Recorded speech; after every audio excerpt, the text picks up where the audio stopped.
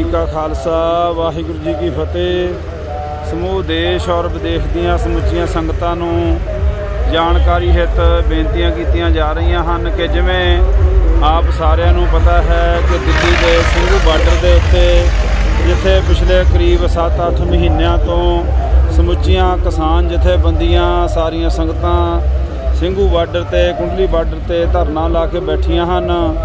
ਸੋ Singhu border ਦੇ ਉੱਤੇ international ਪੰਥਕ ਦਲ ਵੱਲੋਂ ਕਿਸਾਨ ਬਚਾਓ ਮੋਰਚੇ ਦੇ ਵਿੱਚ ਜਿੰਨੀਆਂ ਵੀ ਸੰਗਤਾਂ ਪੁੱਜ ਰਹੀਆਂ, ਸੋ ਦੇਸ਼ ਔਰ ਵਿਦੇਸ਼ ਦੀ ਜਥੇਬੰਦੀ ਦੇ ਸਾਰੇ ਸਿੰਘਾਂ ਵੱਲੋਂ ਰਲ ਕੇ ਜਿੱਥੇ ਇੱਥੇ ਗੁਰੂ ਕੇ ਲੰਗਰ ਦੀ ਸੇਵਾ ਕੀਤੀ ਜਾ ਰਹੀ ਹੈ ਔਰ ਪਹਿਲਾਂ ਇੱਥੇ ਦਸਤਾਰਾਂ ਦੀ ਵੀ ਸੇਵਾ ਕੀਤੀ ਗਈ ਹੈ, ਸੋ ਇਸੇ ਤਰ੍ਹਾਂ ਜੋ ਵੀ ਇੱਥੇ ਸਹੂਲਤਾਂ ਦੀ ਲੋੜ ਪੈਂਦੀ ਹੈ, ਉਹ ਸਾਰੀਆਂ ਸਹੂਲਤਾਂ ਇੱਥੇ ਦਿੱਤੀਆਂ ਜਾ ਰਹੀਆਂ ਹਨ, ਜਿਵੇਂ ਕਿ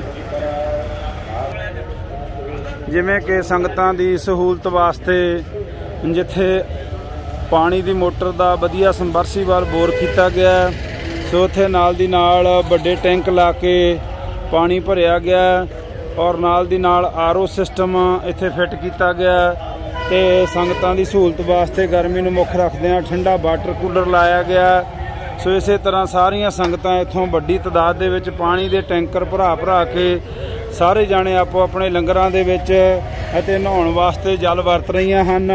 ਇਸੇ ਤਰ੍ਹਾਂ ਸੰਗਤਾਂ ਦੀ ਸਹੂਲਤ ਵਾਸਤੇ ਇੱਥੇ ਜੋ ਕਿ ਮਾਈਆਂ ਬੀਬੀਆਂ ਭੈਣਾਂ ਸਾਡੀਆਂ ਆ ਰਹੀਆਂ ਸਨ, ਉਹਨਾਂ ਵਾਸਤੇ ਅਤਿਅੰਤ ਲੋੜ ਸੀ ਬਾਥਰੂਮਾਂ ਦੀ।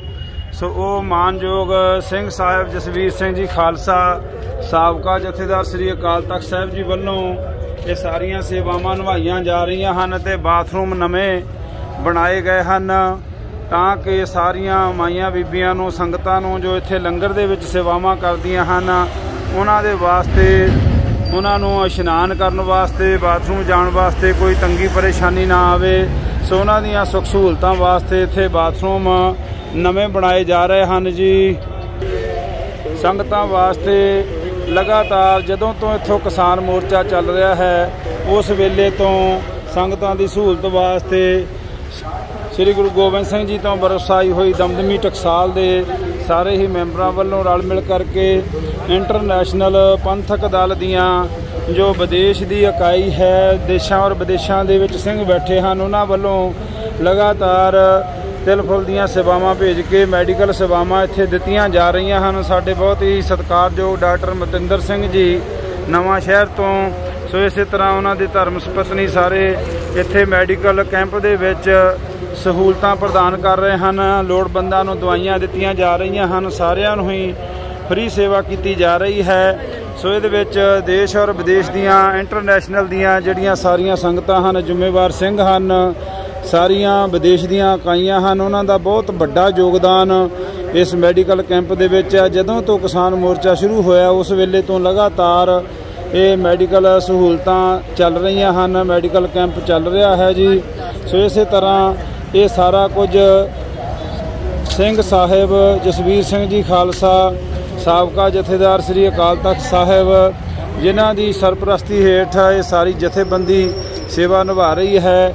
ਸੋ ਉਹ ਵੀ ਇੱਥੇ ਸੰਗਤਾਂ ਦੇ ਵਿੱਚ ਜਦੋਂ ਤੋਂ ਲੈ ਕੇ ਕੈਂਪ ਚੱਲ ਰਹੇ ਹਨ, ਗੁਰੂ ਕੇ ਲੰਗਰ ਚੱਲ ਰਹੇ ਹਨ, ਸੋ ਵੀ ਲਗਾਤਾਰ ਇੱਥੇ ਸੇਵਾਵਾਂ ਦੇ ਵਿੱਚ ਪਹੁੰਚ ਰਹੇ ਹਨ ਤਾਂ ਕਿ ਇੱਥੇ ਸਟੇਜ ਦੇ ਉੱਤੇ ਜੋ ਵੀ ਵੱਡੇ ਵੱਡੇ ਗੁਰਮਤ ਸਮਾਗਮ ਹੋ ਰਹੇ ਹਨ ਜਾਂ ਗੁਰੂ ਸਾਹਿਬਾਂ ਦੇ ਦਿਨ ਦਿਹਾੜੇ ਮਨਾਏ ਜਾ ਰਹੇ ਹਨ। ਸਟੇਜ ਦੇ ਉੱਤੇ ਉਹਨਾਂ ਦੇ ਵਿੱਚ ਮਾਨਯੋਗ ਸਿੰਘ ਸਾਹਿਬ ਜਸਵੀਰ ਸਿੰਘ ਜੀ ਖਾਲਸਾ ਸਾਬਕਾ ਜਥੇਦਾਰ ਸ੍ਰੀ ਅਕਾਲ ਤਖਤ ਸਾਹਿਬ ਜੀ ਵੱਲੋਂ ਕਥਾ ਕਰਕੇ ਸੰਗਤਾਂ ਨੂੰ ਗੁਰਬਾਣੀ ਦੇ ਨਾਲ ਵੀ ਜੋੜਿਆ ਜਾ ਰਿਹਾ ਹੈ। ਵੱਡੇ ਪੱਧਰ ਤੇ ਜਿੱਥੇ ਗੁਰਬਾਣੀ ਦੇ ਪ੍ਰਚਾਰ ਚੱਲ ਰਹੇ ਹਨ, ਲੰਗਰਾਂ ਦੀਆਂ ਸੇਵਾਵਾਂ ਚੱਲ ਰਹੀਆਂ ਹਨ, ਉੱਥੇ ਮਾਨਯੋਗ ਸਿੰਘ ਸਾਹਿਬ ਆਪ ਸੰਗਤਾਂ ਦੇ ਵਿੱਚ ਬੈਠ ਕਰਕੇ ਸੰਗਤਾਂ ਦੇ ਨਾਲ ਇਸ ਮੋਰਚੇ ਸੰਬੰਧੀ ਵੀ ਵਿਚਾਰਾਂ ਚੱਲ ਰਹੀਆਂ ਹਨ ਤਾਂ ਜੋ ਆਉਣ ਵਾਲੇ ਸਮੇਂ ਦੇ ਵਿੱਚ ਇਹ ਜੋ ਤਿੰਨੇ ਕਾਲੇ ਕਾਨੂੰਨ ਹਨ, ਇਹਨਾਂ ਨੂੰ ਵਾਪਸ ਕਰਵਾਉਣ ਵਾਸਤੇ ਸੋ ਜੋ ਯਤਨ ਕੀਤੇ ਜਾ ਰਹੇ ਹਨ ਤੇ ਇੱਥੇ ਸਾਡੇ ਬਹੁਤ ਹੀ ਸਤਿਕਾਰਯੋਗ ਸਰਦਾਰ ਲਖਵਿੰਦਰ ਸਿੰਘ ਜੀ, ਪ੍ਰਧਾਨ ਇੰਟਰਨੈਸ਼ਨਲ ਪੰਥਕ ਦਲ, ਸੋ ਇਸੇ ਤਰ੍ਹਾਂ ਕਿਰਪਾ ਸਿੰਘ ਜੀ ਨੱਥੂ ਵਾਲਾ ਜੋ ਸਾਡੇ ਕਿਸਾਨ ਮੋਰਚੇ ਦੇ ਬਚਾਓ ਦੇ ਪ੍ਰਧਾਨ ਹਨ, ਹਰਚੰਦ ਸਿੰਘ ਜੀ ਚੱਕਰ ਕਨਵੀਨਰ ਸੋ ਇਸੇ ਤਰ੍ਹਾਂ ਬਾਬਾ ਸਤਨਾਮ ਸਿੰਘ ਜੀ ਬੱਲੀਆਂ ਵਾਲੇ ਧਾਰਮਿਕ ਵਿੰਗ ਦੇ ਮੁਖੀ ਔਰ ਇਸੇ ਤਰ੍ਹਾਂ ਵਿਦੇਸ਼ਾਂ ਦੇ ਵਿੱਚ ਜਿੰਨੇ ਵੀ ਵਿਦੇਸ਼ਾਂ ਦੇ ਵਿੱਚ ਇੰਟਰਨੈਸ਼ਨਲ ਪੰਥਕ ਦਲ ਦੀਆਂ ਇਕਾਈਆਂ ਹਨ, ਸਾਰੇ ਹੀ ਇਸ ਮੋਰਚੇ ਦੇ ਵਿੱਚ ਆਪਣਾ ਵੱਧ ਚੜ ਕੇ ਯੋਗਦਾਨ ਪਾ ਰਹੇ ਹਨ। ਗੁਰੂ ਸਾਹਿਬ ਕਿਰਪਾ ਕਰਨ, ਇਹ ਸਾਰਾ ਮੋਰਚਾ ਜਲਦੀ ਤੋਂ ਜਲਦੀ ਫਤਿਹ ਹੋਵੇ, ਇਹ ਤਿੰਨੇ ਕਾਲੇ ਕਾਨੂੰਨ ਵਾਪਸ ਹੋਣ। ਸਾਰੇ ਜਿੰਨੇ ਕਿਸਾਨ ਵੀਰ ਇੱਥੇ ਆਏ ਆ, ਬੈਠੇ ਆ, ਜੋ ਕਿ ਬਹੁਤ ਵੱਡੀ ਗਰਮੀ ਦੇ ਦਿਨਾਂ ਦੇ ਵਿੱਚ ਇੱਥੇ ਬੜਾ ਦੁੱਖ ਸਹਾਰਦੇ ਹੋਏ ਜਿੱਥੇ ਗਰਮੀ ਵੱਡੇ ਪੱਧਰ ਤੇ ਹੈ, ਉੱਥੇ ਮੱਛਰ ਦੀ ਵੀ ਬੜੀ ਵੱਡੀ ਤਦਾਦ ਦੇ ਵਿੱਚ ਉਹਨਾਂ ਨੂੰ ਸਾਹਮਣਾ ਕਰਨਾ ਪੈ ਰਿਹਾ। ਸੋ ਸਾਰੀਆਂ ਸਹੂਲਤਾਂ ਵਾਸਤੇ ਜਿੱਥੇ ਸਾਰੇ ਜਣੇ ਯਤਨ ਕਰ ਰਹੇ ਹਨ, ਸੋ ਉੱਥੇ ਇੰਟਰਨੈਸ਼ਨਲ ਪੰਥਕ ਦਲ ਦੀ ਬਹੁਤ ਵੱਡੀ ਸੇਵਾ ਨਿਭਾਈ ਜਾ ਰਹੀ ਹੈ। ਉਹ ਸਾਰੇ ਮੋਰਚੇ ਦੇ ਵਿੱਚ ਜਿੱਥੇ ਵੀ ਜਾ ਕੇ ਗੱਲਬਾਤ ਸਰਕਾਰਾਂ ਨਾਲ ਵੀ ਕਰਨੀ ਹੁੰਦੀ, ਉਹਦੇ ਵਿੱਚ ਵੀ ਦੋ ਮੈਂਬਰ ਸਿੰਘ ਸਾਹਿਬ ਜੀ ਵੱਲੋਂ ਭੇਜੇ ਜਾ ਰਹੇ ਹਨ। ਤਾਂ ਜੋ ਕੋਈ ਨਾ ਕੋਈ ਨਿਰਣੈ, ਕੋਈ ਨਾ ਕੋਈ ਫੈਸਲਾ ਜਿਹੜਾ ਉਹ ਸਾਹਮਣੇ ਆ ਸਕੇ। ਗੁਰੂ ਮਹਾਰਾਜ ਦੇ ਚਰਨਾਂ 'ਚ ਅਰਦਾਸ ਬੇਨਤੀ ਹੈ, ਸੱਚੇ ਪਾਤਸ਼ਾਹ ਜਲਦੀ ਕਿਰਪਾ ਕਰਿਓ, ਇਹ ਸਾਰਾ ਮੋਰਚਾ ਫਤਿਹ ਹੋਵੇ ਔਰ ਸਾਰੀਆਂ ਦੇਸ਼ ਵਿਦੇਸ਼ ਦੀਆਂ ਸੰਗਤਾਂ ਜਿਨ੍ਹਾਂ ਦਾ ਵਿਸ਼ੇਸ਼ ਤੌਰ ਤੇ ਧਿਆਨ ਵੀ ਹੈ ਔਰ ਆਪਣਾ ਯੋਗਦਾਨ ਵੀ ਪਾ ਰਹੀਆਂ ਹਨ, ਉਹਨਾਂ ਦਾ ਸਾਰਿਆਂ ਦਾ ਹੀ ਮਾਨਯੋਗ ਸਿੰਘ ਸਾਹਿਬ, ਜਸਵੀਰ ਸਿੰਘ ਜੀ ਰੋਡੇ ਸਾਬਕਾ ਜਥੇਦਾਰ ਸ੍ਰੀ ਅਕਾਲ ਤਖਤ ਸਾਹਿਬ ਜੀ ਵੱਲੋਂ ਸਾਰੀਆਂ ਦੇਸ਼ ਔਰ ਵਿਦੇਸ਼ ਦੀਆਂ ਸੰਗਤਾਂ ਦਾ ਇੰਟਰਨੈਸ਼ਨਲ ਪੰਥਕ ਦਲ ਦੀ ਸਮੁੱਚੀ ਇਕਾਈ ਦਾ ਬਹੁਤ ਬਹੁਤ ਧੰਨਵਾਦ ਗੁਰੂ ਸਾਹਿਬ ਜੀ, ਕਿਰਪਾ ਕਰਨ। ਜਲਦੀ ਮੋਰਚਾ ਫਤਿਹ ਹੋਵੇ ਤੇ ਸਾਰੇ ਜਾਣੇ ਫਤਿਹਜ਼ਾਬੀ ਲੈ ਕੇ ਖੁਸ਼ੀਆਂ ਦੇ ਨਾਲ ਸਾਰੇ ਜਾਣੇ ਆਪੋ ਆਪਣੇ ਘਰਾਂ ਨੂੰ ਜਾਣ ਜੀ। ਸਾਰਿਆਂ ਦਾ ਹੀ ਬਹੁਤ ਬਹੁਤ ਧੰਨਵਾਦ। ਵਾਹਿਗੁਰੂ ਜੀ ਕਾ ਖਾਲਸਾ, ਵਾਹਿਗੁਰੂ ਜੀ ਕੀ ਫਤਿਹ। ਸੋ ਜਿੱਥੇ ਸਿੰਘ ਸਾਹਿਬ ਜੀ ਸਾਰੀਆਂ ਸੰਗਤਾਂ ਦੇ ਨਾਲ ਵਿਚਾਰਾਂ ਦੀ ਸਾਂਝ ਪਾ ਰਹੇ ਆ, ਸੋ ਉਹਨਾਂ ਨੂੰ ਵੀ ਬੇਨਤੀ ਹੈ ਕਿ ਜੋ ਵਿਦੇਸ਼ ਦੀਆਂ ਸਾਰੀਆਂ ਇਕਾਈਆਂ ਜਾਂ ਦੇਸ਼ਾਂ ਵਿਦੇਸ਼ਾਂ ਦੀ ਸੰਗਤ ਸੇਵਾ ਨਿਭਾ ਰਹੀ ਹੈ। ਉਹਨਾਂ ਦੇ ਬਚਨ ਉਹਨਾਂ ਦੇ ਪ੍ਰਤੀ 2-4 ਮਿੰਟ ਵਾਸਤੇ ਬਚਨਾਂ ਦੀ ਸਾਂਝ ਪਾਉਣਗੇ ਮਾਨਯੋਗ ਸਿੰਘ ਸਾਹਿਬ ਜਸਵੀਰ ਸਿੰਘ ਜੀ ਖਾਲਸਾ ਸਾਬਕਾ ਜਥੇਦਾਰ ਸ੍ਰੀ ਅਕਾਲ ਤਖਤ ਸਾਹਿਬ ਜੀ। ਵਾਹਿਗੁਰੂ ਜੀ ਕਾ ਖਾਲਸਾ। ਵਾਹਿਗੁਰੂ ਜੀ ਕੀ ਫਤਿਹ। ਗੁਰੂ ਖਾਲਸਾ ਸਾਧ ਸੰਗਤ ਜੀ ਆਪ ਸਭ ਸੰਗਤਾਂ ਨੂੰ ਇਸ ਬਾਰੇ ਭਲੀ ਭਾਤ ਜਾਣਕਾਰੀ ਹੈ ਕਿ ਜੋ ਪਿਛਲੇ 7 ਮਹੀਨੇ ਤੋਂ ਕਿਸਾਨ ਜਥੇਬੰਦੀਆਂ, ਗੁਰੂ ਪੰਜਾ ਸਿੱਖ ਸੰਗਤਾਂ, ਬਹੁਤ ਹੀ ਸ਼ਾਂਤਮਈ ਢੰਗ ਦੇ ਨਾਲ ਦਿੱਲੀ ਦੇ ਚਾਰ ਸਵੇਰੇ ਬਾਰਡਰਾਂ ਤੇ ਇਸ ਕਾਜ ਲਈ ਡਟੇ ਹੋਏ ਹਨ ਕਿ ਜੋ ਸਾਡੇ ਭਵਿੱਖ ਨੂੰ ਖਤਰੇ 'ਚ ਪਾਇਆ ਜਾ ਰਿਹਾ ਸੈਂਟਰ ਕੇਂਦਰ ਸਰਕਾਰ ਵੱਲੋਂ, ਜੋ ਖੇਤੀ ਸੰਬੰਧੀ ਬਿੱਲ ਲਿਆਂਦੇ ਨੇ। ਕਿਸਾਨ ਜਥੇਬੰਦੀਆਂ ਦੇ ਜਿੰਨੇ ਵੀ ਮਾਹਰ ਆਗੂ ਨੇ, ਉਹਨਾਂ ਦਾ ਕਹਿਣਾ ਕਿ ਇਹ ਬਿੱਲ ਜਿਹੜੇ ਹੈ ਇਹ ਬਹੁਤ ਘਾਤਕ ਸਾਬਤ ਹੋਣੇ ਆ ਆਉਣ ਵਾਲੇ ਭਵਿੱਖ ਵਿੱਚ। ਇਸ ਵਾਸਤੇ ਗਵਰਨਮੈਂਟ ਨੂੰ ਵਾਪਸ ਲੈ ਲੈਣੇ ਚਾਹੀਦੇ ਆ।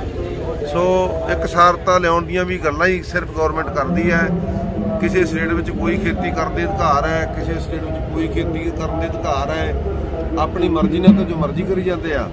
ਪਰ ਇਹ ਬਿੱਲ ਥੋਪੇ ਜਾ ਰਹੇ ਆ। ਬਿੱਲ ਬਣਾਉਣ ਵੇਲੇ ਕਿਸੇ ਵੀ ਕਿਸਾਨ ਜਥੇਬੰਦੀ ਨੂੰ, ਕਿਸਾਨ ਆਗੂਆਂ ਨੂੰ ਕਿਸੇ ਨੂੰ ਵੀ ਪੁੱਛਿਆ ਨਹੀਂ ਗਿਆ। ਇਸ ਕਰਕੇ ਕਿਸਾਨਾਂ ਨੇ ਫੈਸਲਾ ਲਿਆ ਹੈ ਕਿ ਜਦੋਂ ਤੱਕ ਇਹ ਬਿੱਲ ਵਾਪਸ ਨਹੀਂ ਹੁੰਦੇ, ਇਸੇ ਤਰ੍ਹਾਂ ਸੰਘਰਸ਼ ਜਾਰੀ ਰਹੂਗਾ। ਸੋ ਇਹਦੇ ਵਿੱਚ ਸਹਿਯੋਗ ਕਰਨ ਵਾਸਤੇ ਜਿੱਥੇ ਇੰਟਰਨੈਸ਼ਨਲ ਪੰਥਕ ਦਲ ਦੀ ਜਿਹੜੀ ਇਕਾਈ ਹੈ, ਕਿਸਾਨ ਬਚਾਓ ਮੋਰਚਾ, ਉਹਦੇ ਪ੍ਰਧਾਨ ਭਾਈ ਕਿਰਪਾ ਸਿੰਘ ਜੀ ਨੇ ਸ਼ੁਰੂ ਤੋਂ ਹੀ ਸਮੂਲੀਅਤ ਕੀਤੀ ਹੈ। ਉਹ 31 ਜਥੇਬੰਦੀਆਂ ਦੇ ਵਿੱਚ ਵੀ ਜਿੱਥੇ ਸੇਵਾ ਨਿਭਾ ਰਹੇ ਆ ਸੰਗਤਾਂ ਲਿਆਉਣੀਆਂ, ਕੋਈ ਰੋਸ ਮੁਜ਼ਾਹਰਾ ਕਰਨਾ, ਇਹ ਤਾਦਕ ਜਿਹੜੇ ਵੀ ਕੇਂਦਰ ਤੌਰ ਤੇ ਜਿਹੜਾ ਯੂਨਾਈਟਿਡ ਇਹਨਾਂ ਨੇ ਕਿਸਾਨ ਮੋਰਚਾ ਬਣਾਇਆ ਹੈ। ਸਾਂਝੇ ਮੋਰਚੇ ਵੱਲੋਂ ਜੋ ਪ੍ਰੋਗਰਾਮ ਦਿੱਤੇ ਜਾਂਦੇ, ਉਹ ਵੱਖਰੇ ਨੇ। ਨਾਲ ਹੀ ਇੰਟਰਨੈਸ਼ਨਲ ਪੰਥਕ ਦਲ ਦੀ ਸਮੂਹ ਜਥੇਬੰਦੀਆਂ ਨੇ, ਜਿਹਦੇ ਵਿੱਚ ਧਾਰਮਿਕ ਵਿੰਗ ਵੀ ਹੈ, ਪੋਲੀਟੀਕਲ ਵਿੰਗ ਵੀ ਹੈ। ਅਸੀਂ ਸਾਰਿਆਂ ਨੇ ਦੇਸ਼ ਵਿਦੇਸ਼ ਦੀਆਂ ਸਾਰੀਆਂ ਇਕਾਈਆਂ ਨੇ ਵਿਚਾਰਾਂ ਕਰਕੇ ਇਹ ਇੱਥੇ ਸੇਵਾ ਲਈ ਸੀ ਕਿ ਜਦੋਂ ਤੱਕ ਕਿਸਾਨ ਮੋਰਚਾ ਚੱਲੇਗਾ, ਉਦੋਂ ਤੱਕ ਜਥੇਬੰਦੀ ਵੱਲੋਂ ਸੰਗਤਾਂ ਦੇ ਸਹਿਯੋਗ ਨਾਲ, ਗੁਰੂ ਸਾਹਿਬ ਦੀ ਕਿਰਪਾ ਨਾਲ ਇੱਥੇ ਲੰਗਰ ਵੀ ਚੱਲਣਗੇ। ਮੈਡੀਕਲ ਕੈਂਪ ਵੀ ਚੱਲੇਗਾ, ਜੋ ਨਿਰੰਤਰ ਜਾਰੀ ਹੈ। ਸੋ ਮੈਂ ਇਹ ਵੀ ਬੇਨਤੀ ਕਰਾਂ ਕਿ ਬਹੁਤ ਸਾਰੀਆਂ ਹੋਰ ਵੀ ਪਿੰਡ ਪੱਧਰ ਦੀਆਂ ਜਾਂ ਹਲਕਾ ਪੱਧਰ ਦੀਆਂ ਕੁਝ ਇਕਾਈਆਂ ਨੇ ਇਹ ਸੇਵਾਵਾਂ ਪਹਿਲਾਂ ਸ਼ੁਰੂ ਕੀਤੀਆਂ ਸੀ, ਪਰ ਜਿਵੇਂ ਜਿਵੇਂ ਸੰਘਰਸ਼ ਲੰਬਾ ਹੁੰਦਾ ਗਿਆ, ਜਿੰਨੀ ਕੁ ਉਹਨਾਂ ਦੀ ਸਮਰੱਥਾ ਸੀ, ਉਹਨਾਂ ਨੇ ਬਹੁਤ ਸੇਵਾ ਕੀਤੀ। ਪਰ ਆਪਾਂ ਲਗਾਤਾਰ ਇਹ ਸੇਵਾ ਜਾਰੀ ਰੱਖੀ ਹੋਈ ਹੈ। ਸੋ ਮੈਂ ਸਾਰੀਆਂ ਹੀ ਇਕਾਈਆਂ ਦਾ ਧ- ਦਿਲੋਂ ਧੰਨਵਾਦ ਕਰਦਾ। ਮੈਨੂੰ ਇੱਕ ਦੋ ਸਿੰਘਾਂ ਦੇ ਇਹ ਵੀ ਟੈਲੀਫੋਨ ਆਏ ਕਿ ਸਿੰਘ ਸਾਹਿਬ ਜੀ, ਜੇ ਸਾਨੂੰ ਕੱਲੇ ਕੱਲੇ ਪਰਿਵਾਰਾਂ ਨੂੰ ਵੀ ਸਾਲ-ਸਾਲ ਦੋ-ਦੋ ਸਾਲ ਇਹ ਸੇਵਾ ਚੁੱਕਣੀ ਪਈ, ਅਸੀਂ ਸੇਵਾ ਚੁੱਕਾਂਗੇ। ਪਰ ਕਿਉਂਕਿ ਜਿਹੜੀ ਏਕਤਾ ਵਿੱਚ ਬਰਕਤ ਹੁੰਦੀ ਹੈ, ਯੂਨਿਟੀ ਸਟਰੈਂਥ ਹੁੰਦੀ ਹੈ, ਇਸ ਵਾਸਤੇ ਸਾਰਿਆਂ ਦੀ ਸਹਿਯੋਗ ਨਾਲ ਹੀ ਇਹ ਵੱਡੀਆਂ ਸੇਵਾਵਾਂ ਨਿਭਾਈਆਂ ਜਾ ਰਹੀਆਂ। ਅੱਜ ਸਾਨੂੰ ਦੁਬਾਰਾ ਇੱਥੇ ਆਇਆ ਨੂੰ ਚੌਥਾ ਦਿਨ ਹੈ, ਜਿਹੜੇ ਕੁਝ ਕੈਂਪ ਦੇ ਵਿੱਚ ਬਹੁਤ ਹਲਚਲ ਹੋ ਗਈ ਸੀ। ਇੱਕ ਤਰ੍ਹਾਂ ਦਾ ਤੂਫਾਨ ਆਉਣ ਦੇ ਨਾਲ ਹਨੇਰੀਆਂ ਆ ਗਈਆਂ ਸਨ। ਉਹ ਦੁਬਾਰਾ ਸਾਰਾ ਸਿੱਟ ਕੀਤਾ ਹੈ। ਕੁਝ ਮੈਡੀਕਲ ਮੈਡੀਸਨ ਲਿਆਉਣੇ ਸਨ। ਦਵਾਈਆਂ ਲਿਆਂਦੀਆਂ ਗਈਆਂ। ਕੱਲ ਤੋਂ ਹੋਰ ਜੋ ਥੋੜਾ ਬਹੁਤਾ ਰਾਸ਼ਨ ਲਿਆਉਣ ਵਾਲਾ ਸੀ, ਉਹ ਵੀ ਅਸੀਂ ਦਿੱਲੀ ਤੋਂ ਜਾ ਕੇ ਇੱਥੇ ਲੋੜ ਮੁਤਾਬਕ ਸਾਰੇ ਸਾਰੀਆਂ ਸਹੂਲਤਾਂ ਪੂਰੀਆਂ ਕੀਤੀਆਂ। ਸੋ ਗੁਰੂ ਸਾਹਿਬ ਕਿਰਪਾ ਕਰਨ, ਕਿਉਂਕਿ ਆਪਨੇ ਵੇਖ ਹੀ ਲਿਆ ਕਿ ਜਿਵੇਂ ਜਿਵੇਂ ਜ਼ਰੂਰਤ ਸੀ, ਲੈਟਰਨ ਬਾਥਰੂਮਾਂ ਦੀ, ਨਹਾਉਣ ਦੀ, ਕੱਪੜੇ ਧੋਣ ਦੀ ਇੱਥੇ ਰਹਿਣ ਦੀ, ਕਿਉਂਕਿ ਜਿਹੜੀ ਗਵਰਨਮੈਂਟ ਦੀ ਬਦਨੀਤ ਨਜ਼ਰ ਆਉਂਦੀ ਹੈ, ਸਾਫ਼ ਸਾਹਮਣੇ ਦਿਸਦੀ ਹੈ, ਇਹਦੇ ਮੁਤਾਬਕ ਉਹੋ ਜਿਹੀਆਂ ਸਹੂਲਤਾਂ ਦਾ ਪ੍ਰਬੰਧ ਕਰਨਾ ਪਿਆ ਹਾਲਾਂਕਿ ਬਹੁਤ ਜ਼ਿਆਦਾ ਗਰਮੀ ਹੈ। ਗਰਮੀ ਦੇ ਵਿੱਚ ਹਾਲੇ ਤੇ ਸਵੇਰ ਸਵੇਰ ਦਾ ਸਮਾਂ ਹੈ। ਜਦੋਂ ਇੱਥੇ ਦੁਪਹਿਰ ਹੁੰਦੀ ਹੈ 2 ਤੋਂ ਲੈ ਕੇ 3 4 5 ਵਜੇ ਤੱਕ ਹੀ ਬਹੁਤ ਜ਼ਿਆਦਾ ਗਰਮੀ ਹੇਠੋਂ ਸੜਕਾਂ ਤਪੀਆਂ ਹੁੰਦੀਆਂ, ਨੇੜੇ ਦਰਖਤ ਕੋਈ ਨਹੀਂ ਤੇ ਬਿਜਲੀ ਕੱਟ ਦਿੱਤੀ ਜਾਂਦੀ ਹੈ ਤੇ ਬਹੁਤ ਮੁਸ਼ਕਲਾਂ ਹੁੰਦੀਆਂ। ਪਰ ਮੈਂ ਸਾਰੀਆਂ ਸੰਗਤਾਂ ਦਾ ਜਿਹੜੀਆਂ ਇੱਥੇ ਡਟੀਆਂ ਉਹਨਾਂ ਦਾ ਧੰਨਵਾਦ ਕਰਦਾ ਹਾਂ। ਜਥੇਬੰਦੀ ਵੱਲੋਂ ਹੁਣ ਜ਼ਿਲ੍ਹਾ ਫਰੀਦਕੋਟ ਦੀ ਇਕਾਈ ਦੇ ਵਿੱਚ ਭਾਈ ਬੂਟਾ ਸਿੰਘ ਜੀ, ਭਾਈ ਭਜਨ ਸਿੰਘ ਜੀ, ਇਹ ਜਥੇਬੰਦੀ ਹੋਰ ਲੰਗਿਆਂ ਨੇ ਤੋਂ ਸਿੰਘ ਨੇ, ਉਹ ਲਗਾਤਾਰ ਸੇਵਾ ਦੇ ਵਿੱਚ ਡਟੇ ਹੋਏ ਨੇ ਸੋ ਮੈਂ ਪੰਜਾਬ ਦੀ ਪੂਰੀ ਇਕਾਈ ਦਾ ਧੰਨਵਾਦ ਕਰਦਾ ਜਿਹੜੇ ਜ਼ਿਲ੍ਹਾ ਵਾਈ ਜਾ ਕੇ ਸੇਵਾਵਾਂ ਨਿਭਾਉਂਦੇ ਆ ਉਹਨਾਂ ਦਾ ਕਿਉਂਕਿ ਉਹ ਆਪਣਾ ਸਮਾਂ ਵੀ ਕੱਢਦੇ ਨੇ ਜਥੇਬੰਦੀ ਦੇ ਸਿੰਘਾਂ ਨੂੰ ਵੀ ਨਾਲ ਲਿਆਉਣਾ, ਲਿਜਾਣਾ ਇਹ ਪ੍ਰਬੰਧ ਕਰਨੇ ਇਹ ਬੜੀ ਮੁਸ਼ਕਲ ਹੈ। ਪਰ ਬਹੁਤ ਚਾਅ ਦੇ ਨਾਲ ਔਰ ਬਹੁਤ ਜ਼ਿੰਮੇਵਾਰੀ ਦੇ ਨਾਲ, ਗੰਭੀਰਤਾ ਦੇ ਨਾਲ ਇਹ ਸਾਰੀਆਂ ਸੇਵਾਵਾਂ ਜਿਹੜੀਆਂ ਨਿਭਾਈਆਂ ਜਾ ਰਹੀਆਂ ਇਸੇ ਤਰ੍ਹਾਂ ਜਦੋਂ ਵੀ ਯਾਦ ਕਰੀਦੇ ਆ ਤਰਨਾ ਦਲ ਦੁਆਬਾ ਦੇ ਮੁਖੀ ਸਾਡੇ ਨਾਲ ਹਮੇਸ਼ਾ ਵਾਸਤੇ ਹੀ ਚੜ੍ਹਦੀ ਕਲਾ ਦੇ ਵਿੱਚ ਵੱਡੀਆਂ ਸੇਵਾਵਾਂ ਦਲ ਪੰਥ ਦੇ ਨਾਲ ਆ ਕੇ ਸਾਡੇ ਨਾਲ ਸੇਵਾਵਾਂ ਕਰਦੇ ਨੇ। ਸੋ ਦਾਸ ਵਿਸ਼ੇਸ਼ ਤੌਰ ਤੇ ਇਹਨਾਂ ਦਾ ਵੀ ਧੰਨਵਾਦ ਕਰਦਾ ਹੈ। ਕਿਉਂਕਿ ਇਹ ਸੇਵਾ ਨੂੰ ਇਹਨਾਂ ਨੇ ਵੀ ਸ਼ੁਰੂ ਤੋਂ ਲੈ ਕੇ ਜਦੋਂ ਤੋਂ ਅਸੀਂ 1 ਦਸੰਬਰ ਤੋਂ ਇੱਥੇ ਆ ਕੇ ਬੈਠੇ ਆ, ਬਾਬਾ ਸਵਰਨਜੀਤ ਸਿੰਘ ਜੀ ਹੁਣਾਂ ਨੇ ਇਹ ਸੇਵਾ ਉਦੋਂ ਤੋਂ ਹੀ ਸਾਡੇ ਨਾਲ ਮੋਢੇ ਨਾਲ ਮੋਢਾ ਡਾ ਕੇ ਪੂਰੀਆਂ ਸੇਵਾਵਾਂ ਕੀਤੀਆਂ। ਸੋ ਇਹਨਾਂ ਦਾ ਵੀ ਧੰਨਵਾਦ ਹੈ। ਹੋਰ ਵੀ ਪੰਜਾਬ ਦੀਆਂ ਬਹੁਤ ਸਾਰੀਆਂ ਸੰਪਰਦਾਵਾਂ ਧਾਰਮਿਕ ਜਥੇਬੰਦੀਆਂ ਸੇਵਾਵਾਂ ਕਰਦੀਆਂ। ਸਦਾ ਸਾਰਿਆਂ ਦਾ ਧੰਨਵਾਦ ਕਰਦਾ ਵਿਸ਼ੇਸ਼ ਤੌਰ ਤੇ ਜਿਹਨੂੰ ਇੱਕ ਰਿਜ਼ਰਵ ਸੇਵਾ ਕਹਿ ਲਈਏ, ਉਹ ਸਾਡੇ ਕੋਲੇ ਐਨ ਆਰ ਆਈ ਵੀਰਾਂ ਦੀ ਜਿਹੜੀ ਜਥੇਬੰਦੀ ਇੰਟਰਨੈਸ਼ਨਲ ਪੰਥਕ ਦਲ ਹੈ, ਉਹ ਇੱਕ ਰਿਜ਼ਰਵ ਸਾਡੇ ਕੋਲੇ ਸੰਸਥਾ ਹੈ, ਜਦੋਂ ਵੀ ਉਹਨਾਂ ਨੂੰ ਕੋਈ ਸੇਵਾ ਲਾਈਦੀ ਹੈ, ਬੜੇ ਖੜੇ ਖੜੇ ਮੱਥੇ ਉਹ ਸੇਵਾ ਨਿਭਾ ਰਹੇ ਨੇ ਜਿਨ੍ਹਾਂ ਨੇ ਕੋਈ ਗ੍ਰਾਈ ਨਹੀਂ ਕੀਤੀ, ਸਿਰਫ ਆਪਣੀ ਦਸਨੋਂ ਦੀ ਕਿਰਤ ਵਿੱਚੋਂ, ਆਪਣੇ ਦਸਬੰਧ ਵਿੱਚੋਂ, ਜਾਂ ਸੰਗਤਾਂ ਆਪਣੇ ਤੌਰ ਤੇ ਜੋ ਸਹਿਯੋਗ ਕਰਦੀਆਂ ਉਸੇ ਢੰਗ ਦੇ ਨਾਲ ਉਹ ਸੇਵਾਵਾਂ ਨਿਭਾ ਰਹੇ ਨੇ, ਸੇਵਾਵਾਂ ਕਰ ਰਹੇ ਨੇ। ਦਸ ਉਹਨਾਂ ਦਾ ਵੀ ਸਾਰੀਆਂ ਇਕਾਈਆਂ ਦਾ ਦਾ ਤਹਿ ਦਿਲੋਂ ਧੰਨਵਾਦ ਕਰਦਾ ਹੈ। ਸੋ ਇਸੇ ਤਰ੍ਹਾਂ ਸਤਿਗੁਰੂ ਕਿਰਪਾ ਕਰਨ ਜਲਦੀ ਤੋਂ ਜਲਦੀ ਇਸ ਮੋਰਚੇ ਨੂੰ ਫਤਿਹਯਾਬੀ ਬਖਸ਼ਣ। ਪਰ ਜਦੋਂ ਤੱਕ ਮੋਰਚਾ ਚੱਲੇਗਾ, ਆਪਾਂ ਜੋ ਸੰਗਤਾਂ ਦੇ ਨਾਲ ਵਾਅਦਾ ਕੀਤਾ ਹੈ, ਉਹਦੇ ਨਾਲ ਇਹ ਦੋਵੇਂ ਸੇਵਾਵਾਂ ਜਾਰੀ ਰਹਿਣਗੀਆਂ। ਇੱਥੇ ਲੰਗਰ ਵੀ ਗੁਰੂ ਨਾਨਕ ਸਾਹਿਬ ਸੱਚੇ ਪਾਤਸ਼ਾਹ ਦੇ ਜੋ ਚਲਾਏ ਹੋਏ ਨੇ, ਉਹ ਵੀ ਉਹਨਾਂ ਦੀ ਕਿਰਪਾ ਨਾਲ ਚੱਲੀ ਜਾਣੇ ਆ। ਔਰ ਜੋ ਮੈਡੀਕਲ ਕੈਂਪ ਲਾਇਆ ਹੈ, ਉਹਦੀਆਂ ਸੇਵਾਵਾਂ ਵੀ ਆਪਾਂ ਨਿਰੰਤਰ ਜਾਰੀ ਰੱਖਣੀਆਂ ਹੈ। ਇਹ ਸਾਰੀਆਂ ਸੰਗਤਾਂ ਨੇ ਰਲ ਮਿਲ ਕੇ ਸੇਵਾ ਕਰਨੀਆਂ ਸਭ ਦਾ ਧੰਨਵਾਦ। ਵਾਹਿਗੁਰੂ ਜੀ ਕਾ ਖਾਲਸਾ। ਵਾਹਿਗੁਰੂ ਜੀ ਕੀ ਫਤਿਹ। ਬੋਲੇ। ਸੋ ਨਿਹਾਲ। ਵਾਹਿਗੁਰੂ ਜੀ ਕਾ ਖਾਲਸਾ।